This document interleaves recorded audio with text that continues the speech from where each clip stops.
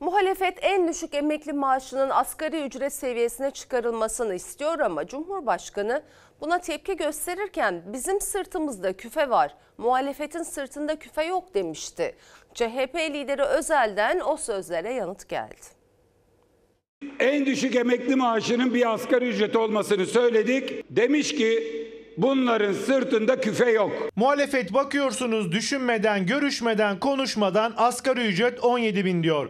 Bunların sırtında maalesef küfe yok. Ben küfeyi istiyorum. Biz milleti yük görmeyiz. Küfeyi taşıyamayanlar çıkarın. Taşıyacak bu aslanlar. Biz taşıyacağız. En düşük emekli maaşının asgari ücret seviyesine çıkması talebine karşı Cumhurbaşkanı Erdoğan'ın bizim sırtımızda küfe var, ekonomik dengeleri gözetmek zorundayız sözlerine CHP liderinin yanıtı. 10 bin liralık en düşük emekli maaşını 12.500 yapmış 33 milyar. Müteahhitlerden geçen sene sildiği borç 660 milyar. 20'de biri ya. Biz ölçüyoruz, biçiyoruz. Nasıl bu işi ekonomik dengeleri bozmayacak biçimde götürürüz? Buna bakıyoruz. Adımlarımızı da buna göre atıyoruz. Beyefendiye beşli çeteler ağır gelmiyor. 10 bin liraya geçinene asgari ücret ver diyorum. Taşıyamam ağır geldi diyor. Bırak ben taşıyacağım ver küfeyi. Özellikle istismar edilen emeklilerimiz hak ettikleri sosyal, ekonomik ve insani seviyeye kavuşacaklardır. Bu bir itiraf olmuş. Emeklilerimiz, işçilerimiz, asgari ücretlerimiz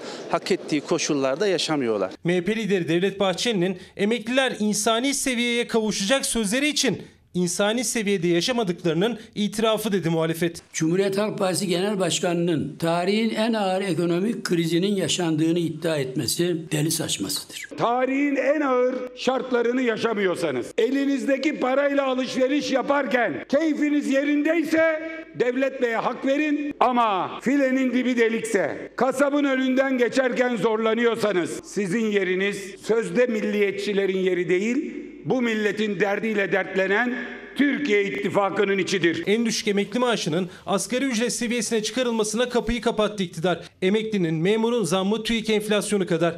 CHP bilerek enflasyonu düşük hesapladığı ve emeklinin, memurun maaşına düşük zamma sebebiyet verdiği gerekçesiyle TÜİK yönetimi hakkında suç duyurusunda bulunmuştu. CHP lideri TÜİK içinden dikkat çekici bir bilgi paylaştı. Türkiye İstatistik Kurumu'nun yemekhanesinde bir yıl önce dört çeşit sıcak yemek 35 lira.